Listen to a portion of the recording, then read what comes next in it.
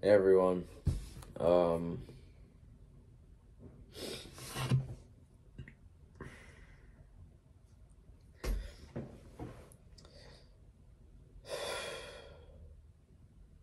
I mean, you read the title, you know, you you know what this is about, and that's kind of why that's kind of why I'm feeling like a little bit, a little bit down, because the truth is is that as much as I talk about like everything that's wrong with humanity, I do believe that there's something about humanity other than in like I guess it's our potential that amazes me so much. And what angers me so much about humanity is how much it wastes that potential fulfilling selfish needs, selfish wants, not needs, selfish wants, you know, cravings, indulging, sacrificing other people, other people's situations for our own, um, for our own sake, you know, and.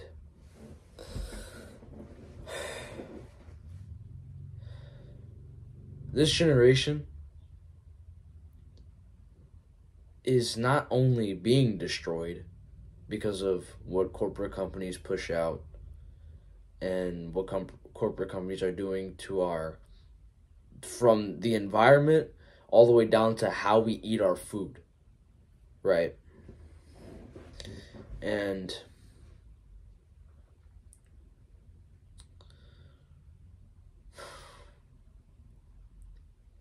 this generation is also destroying itself because it has information. This is like the thing is the the thing that angers me the most is that like we it's not just the fault of corporate companies, right? Because sure, they're bad people for like peddling all the stuff that's bad for us and like trying to get us to consume it.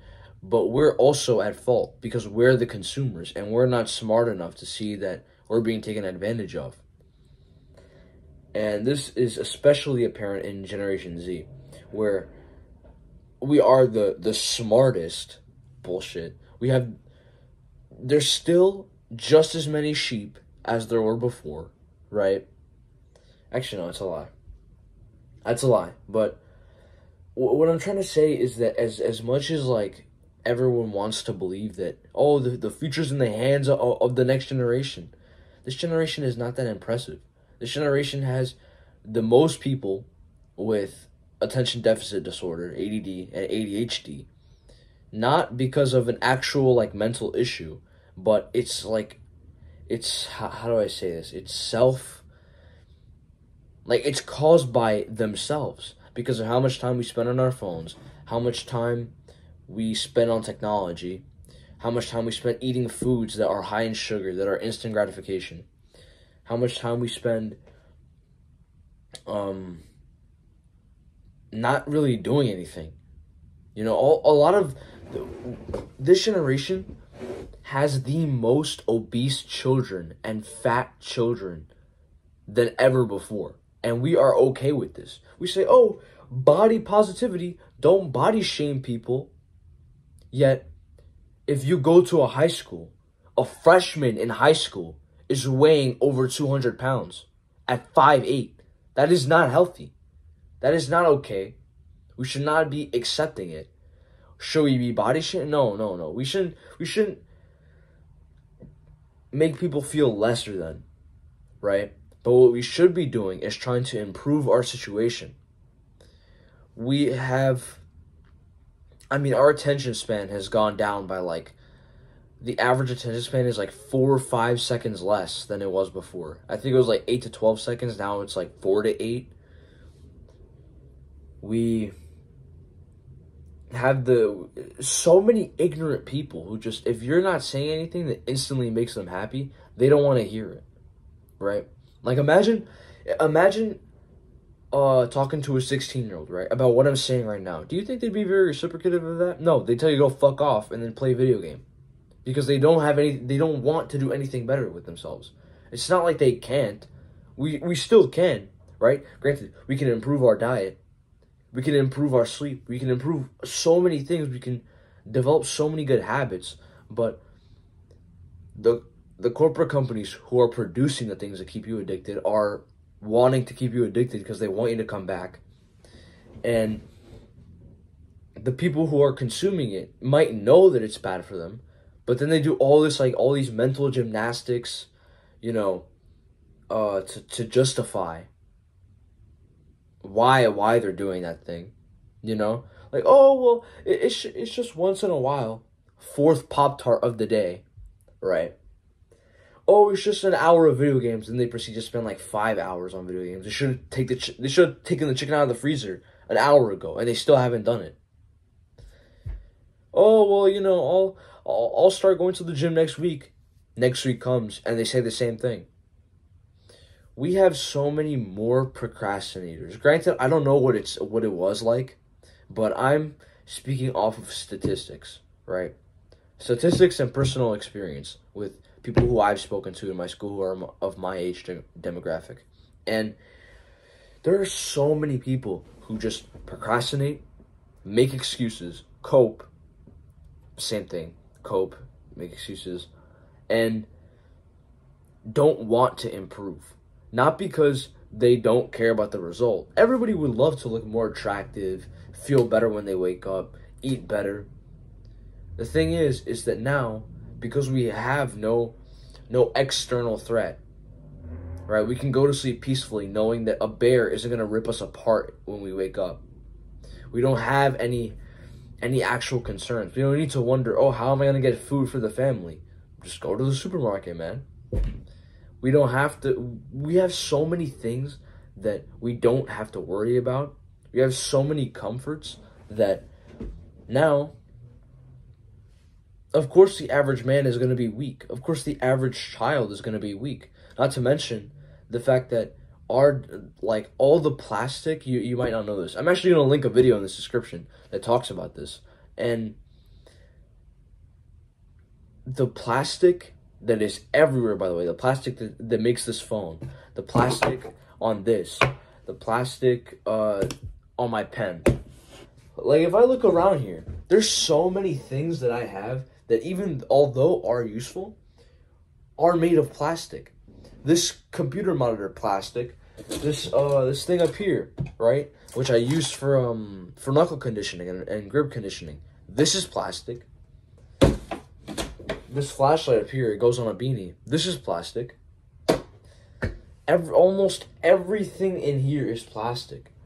There's so much, even like your own your own underwear is probably like poly. It's just like 100% polyester or something like that. All this decreases testosterone, decreases sperm count, decreased testosterone results in weaker men, which, surprise, surprise, we have the weakest men of any previous generation. We have no Great Depression. We have no no war, or at least no great war worth fighting for because we already know every we already know this country's shit. It doesn't care about you. We have no no purpose. That's the main issue. We have no purpose. And so because we live in a purposeless generation where you wake up and you're just taught go to school, get good grades, go to college, get a degree, find a job, and then once you've done that, have a family, buy a house. All good, right? When you follow this cookie cutter system that by the way doesn't work for the majority of people because unless you have like a very specific vision, college isn't really that worth going to.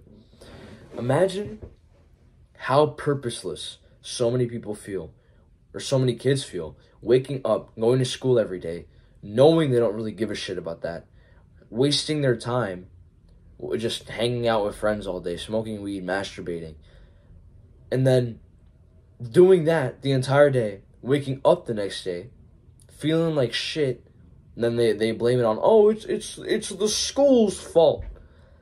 No. It's not just the school's fault. I'm not gonna say it's not the school's fault because sometimes it is, you know. But it's also because your life, your your daily routine is fucking garbage. Okay, so that was a rant. That was kind of yeah, that was that was a rant about the unfortunate sadness of our generation. The fact that we don't really have there's not many people who have I mean like we don't this generation has the most amount of divorces ever.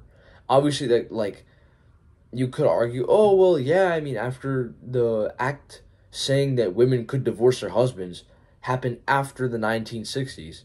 I think somewhere around that time period. But even then, it's such a every year it grows and it grows and it grows. And our along with uh you know so many Netflix shows and so much pornography and so much sex like over sexualization uh, of women, right? May like it distorts our our reality of what love is like. So this generation, just to go over some of the things I've talked about, like I this rant is almost over, I promise. Here are just some of the things that we have talked about.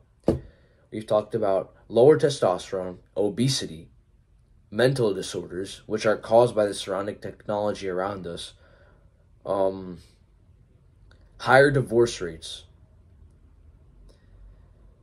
What else? What else? What else did I literally just bring up?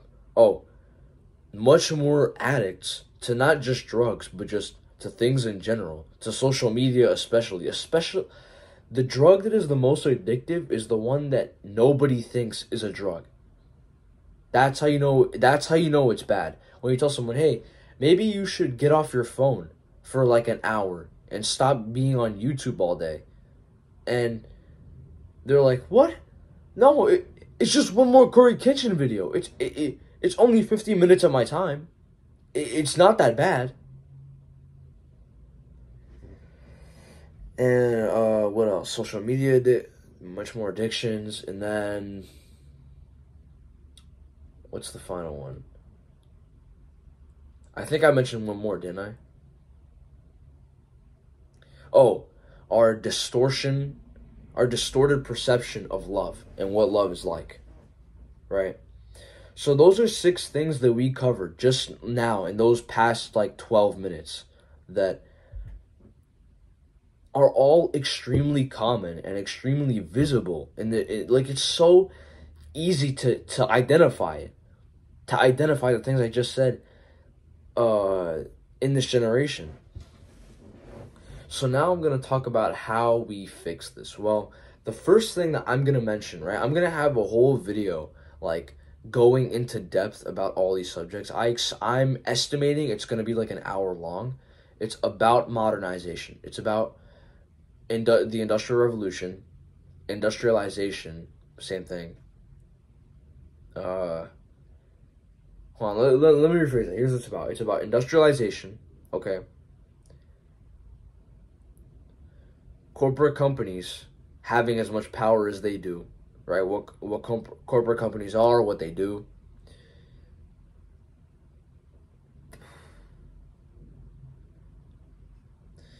How people act, right? Like on a on a on a majority scale. You know, like just what the how how people act when they're presented with new information, when they're presented to with these comforts of uh, of the new age, you know, and stuff along that lines. And I'm gonna be talking about that. That whole video is basically modernity, right? It's an in-depth explanation of what modernity is, what it looks like in our society, what specifically it looks like, and what we can do to get out of it. How we can how we can save ourselves from it. Because as much as we want to say like oh modern society has so many you want to I'll, I'll save it for the video. But point is for this specific video the the solution that i'm going to give right now right that I'm going to almost like the consensus the consensus I'm going to give for people of my age demographic. What I'm telling you right now is day by day, month by month, year by year, stop consuming so much and start producing more and get away as far not it doesn't necessarily have to be physically right now because granted if you're if you're around my age like 15 16 around there you are not able to do that right? You like you physically can't. You financially you can't you can't do any of those things right now. You most likely don't have that money unless you inherited it from someone. Which all again whole inheritance i'll, I'll mention that somewhere else but the best thing you can do now is within your own home try your best to escape modern comforts as much as you can. Like this i don't I'll, I'll bring up a picture right now if i if i have one but this whole space like near my desk used to be like there was so much stuff. I would have like a plushie here then i would have uh like a portrait, like not a self portrait, but like a family photo up here, then another photo up here, then a bunch of papers up there, and I'd have like a, a little Nerf gun sitting there. I'd have like a whole bunch of shit everywhere. Now, it's more like accustomed to just be what I need. You know, this is what my setup looks like now in comparison to. I'll bring a, I'll put a picture up right now. In comparison to that, so the best thing, hold on. Okay. The easiest solution is within your own home, try to escape the comforts of modernity, okay? Uh, start planting your own, try to start planting your own uh, vegetables if you have space for that. Or save up money to to make your own little indoor space. You know how some people have like those kind of indoor gardens? Save up so that you can make your own and just start growing your own plants. In in like in my backyard, granted. okay, hear me out, right? Right now, I live in this like, ha- like kind of house. Not really. Uh, matter of fact, hold on. I'll, I'll save this for later. Right? I don't want to get sidetracked. So you can do that with uh, your vegetables and whatnot. Then for like what I just showed you with, for example, my room, I would just do my best. Oh my, you're fucking kidding me, right? Okay, okay, okay. I thought like it said 20% battery left. I thought it was just going to stop my recording. But basically, in your own room, you know, just do your best to get rid of any distractions, anything that you don't need. Only keep the stuff that you really need, right? Soon, I'm I'm gonna continue doing that actually because I'm not. I still have like a ton of stuff that just serves to distract me. But thing is, like, the more you remove yourself from modernity, you're gonna find that you are more focused and you feel happier. That is like, I, I know you think that right now you're happy, like consuming as much as you are, but when you like if you really recorded yourself like like for example playing video games you wouldn't look in or you you don't have a smile on your face. You know what you look like? Occasional exhale through the nose. You're you don't look you don't look actually happy because you're not actually happy. You don't get real joy from stuff like video games from stuff like high sugar foods. That's another thing. Eat all natural meat, vegetables, fruit, and nuts. Those are like the main four things that should be in your diet. That that matter of fact, those are the only things that should be in your diet. Meat, vegetables, fruit, and nuts. That is it. There there should be no no oh well I, I want some Oreos now. No, none of that. None of that. You have to make sure that you're eating all natural. If you really think about it, it's only about benefits, right? Because you're going to feel you're going to be able to focus more and for longer. You're going to feel happier about what you're eating. There's no there's no like shame in eating fruits or eating uh eating naturally. You know, there's no shame in that. you're going to get better sleep. So, better health overall, actually. We could just categorize that as better health overall. And, yeah, that's like right all I can think of off the top of my head. Organize your room, eat healthy, sleep for more hours, get off your phone. Where like during the day, I fully shut off my phone. Unless like I come back to record a video or I like there's something like I have to do something specifically on my phone. I just keep it shut off the entire day. And I make sure it's in a pocket that I'm not gonna reach for. Like if I have for example, uh I have this this fleece, right, for my for my school, we have uniforms. During the day, there's this little pocket inside. And like look, this is the pocket and then this is the inside pocket. I just keep my phone in this pocket the entire time.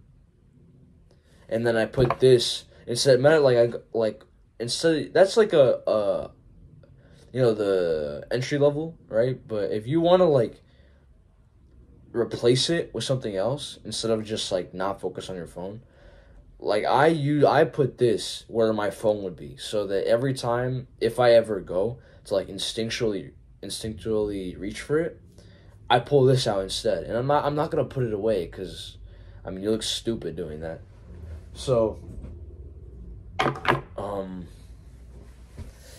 yeah, that's that. Don't spend as much time on your phone. Spend more time socializing. Like just get out and talk to strangers. Go to a supermarket and just like or in the gym you know, just just find people to talk to, you know. Cuz now another problem with this generation is that we close ourselves because of technology and how easy it is to just like get on a computer and communicate with someone on a computer or a phone. We don't really practice socializing in real life. I mean, like, you do a, pr- a presentation in school now, like, there are people who I know who are too anxious to even get up. Like they it is like the pinnacle of the the peak of awkwardness, you know? And it's like I have no doubt in my mind that that is uh, an effect of constantly being on devices, talking to people, communicating with people, but never actually being forced to make eye contact with them. I mean, like our first instinct when we have like, let's say this, let's say this is my phone, right? Our first instinct now, for the majority of of men, actually, I speak mostly to the men when I say this. Our first instinct when we see like someone who's not even not even attractive, just the opposite gender, our first instinct, oh, go on the go on the settings app. You know, go on the weather app. It's humidity's pretty high today. What are you doing? Actually, matter of fact, I'm kind of thirsty. But get out there and socialize, man. Every every step of the way that we increase, like, the thing is, is that hu- humanity what it doesn't yet understand is that the further we advance in technology is or like some basically something great for one thing has a major consequence on the other. So okay, airplanes are amazing for transportation and transporting things from point A to point B. Cars are also amazing. Boats are also amazing, you know? but they do so they negatively affect the environment so much. And so that's the trade. That advancement in travel negatively affects the environment. Right? A huge advancement in something is a huge has a huge consequence as a result. And with technology, with every advancement that is made, the consequence is on us. We are negatively affected by that. More specifically, the people who don't watch these kind of videos, the people who are not interested in the, in this kind of like self help type of stuff, you know.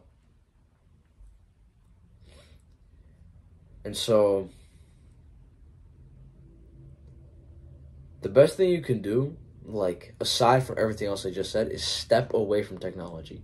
Step away from everything. Not just like only go on stuff like YouTube if you're actually like intending to use it for a good purpose, right? To learn something that you haven't learned yet, to look up a book, to order, you know, to to find a library near you so you can go get it, like read a new book, right? To just to do something productive, you know, not for entertainment. Okay, I know the entertainment is fun, right? I'm not someone who doesn't consume entertainment at all. Obviously, like any human, I like entertainment because I get entertained. But the thing is, is that slowly, day by day, I cut more of this entertainment out of my life. I don't play video games anymore. I barely watch like um any entertainment YouTubers. I drop my screen time down by about like 3 hours. And because of that, I sleep better, I wake up and I'm happier. I appreciate that I'm more like I'm more present. That's another thing too that not a lot of people talk about is being present in the moment. When you're so absorbed in your own technology and you're so absorbed in your own phone, you are not present in the moment. You are not like physically you're there, but you're not mentally there, you know? That's why if you see someone like fucking doom scrolling on their phone and then you go uh, you say, "Hey, hey, hello, excuse me." They will likely not even hear you until like the third time. Because being like having it's it's almost like putting like those uh those like blockers on horses, you know, with like on those race horses where because they can't run if they get distracted, they literally have to put these like visors on their head so that they can only see linearly. That's kind of what like being constantly consumed with your phone, having like 7 hours of screen time does to your brain. You you become like so not not even focused. It's almost like imagine the racehorse but instead it's it's a fucking Oculus Rift, and and they're expected to race the whole time wearing the Oculus Rift. That is literally what the phone does. What being on your phone constantly does to you. You are not present in the moment, right? And it makes it harder to concentrate on literally anything. So I mean, yeah, that's basically about it for today's video. Uh, this is like a I don't even know if I'm gonna upload this to be honest. Cause I like I wanted to do this video, but the thing is I don't do scripts for my videos, right? I never script them. I just like I think of an idea, I maybe like recite some points that I'm gonna make in my head for a few minutes, and then I just come here and record because I want to put something out. So I just realized the lighting. Okay, I'm. It's not that. It's not that bad to be honest. That would have been so much better, bro. Are you uh, what, whatever, man. Okay. Anyway, that's basically it for this video, man. Um, you know, like I said in my like I said in my other stuff, I am. I'm gonna be posting like so much of this type of content. I have so much planned for you guys. Like I have a, like I think I showed you in the last one. I have a whole document full of like video ideas that I'm gonna come out with. So just let me know, man. Uh, let me know what you guys want. Let me know what you guys wanna what what you would like to see. And not just videos, but just like in, in content in general, you know. So yeah, that's all for today. Uh I'll see you guys next time.